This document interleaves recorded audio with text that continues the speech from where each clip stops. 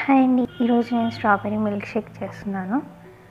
దీనికి first strawberries అన్ని బౌల్లో వేసుకొని నీట్గా వాష్ చేసుకొని నేను ఇక్కడ చిన్న చిన్న పీసెస్ లాగా కట్ చేస్తున్నాను లైక్ మీడియం సైజ్లో.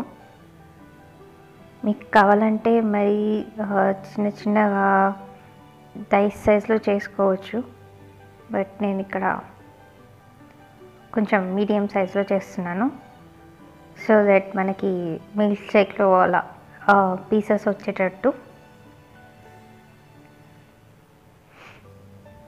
ఇలా అన్నీ కట్ చేసుకొని సైడ్ పెట్టేసుకొని నీట్గా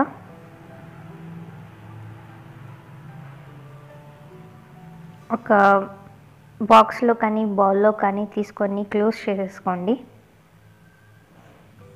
దాన్ని డీప్ ఫ్రీజ్లో పెట్టుకొని ఒక ఓవర్ నైట్ ఉంచండి. సో దట్ స్ట్రాబెర్రీస్ అన్నీ కొంచెం బాగా ఫ్రీజ్ అవుతే మీకు మిల్క్ షేక్ థిక్గా వస్తుంది. ఇప్పుడు చూసినట్టయితే అవి స్ట్రాబెర్రీస్ అన్నీ కొంచెం ఐసీ ఫ్రీజ్ అయిపోయి ఉన్నాయి ఫ్రోజన్ స్ట్రాబెర్రీస్. దీన్ని మీరు మిక్సీలో వేసుకొని నాది ఇది జ్యూసర్లో వేస్తున్నాను. వేసి మిక్సీ జార్లో వేసుకొని ఇందులో కొంచెం మిల్క్ ఒక హాఫ్ కప్ నేను ఇందులో ఒక హాఫ్ కప్ మిల్క్ వేస్తున్నాను.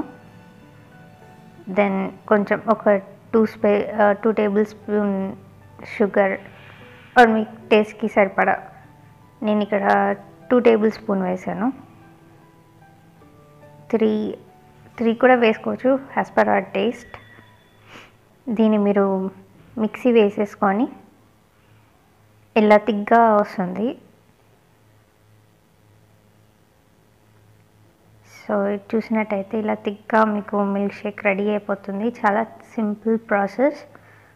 మీకు కావాలంటే కొన్ని స్ట్రాబెర్రీస్ పైన వేసుకోవచ్చు. ఫర్ గార్నిషింగ్ నేను ఇక్కడ డ్రై ఫ్రూట్స్ వేస్తున్నాను.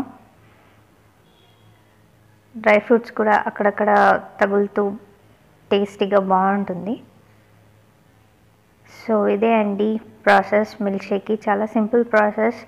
Please write and please subscribe.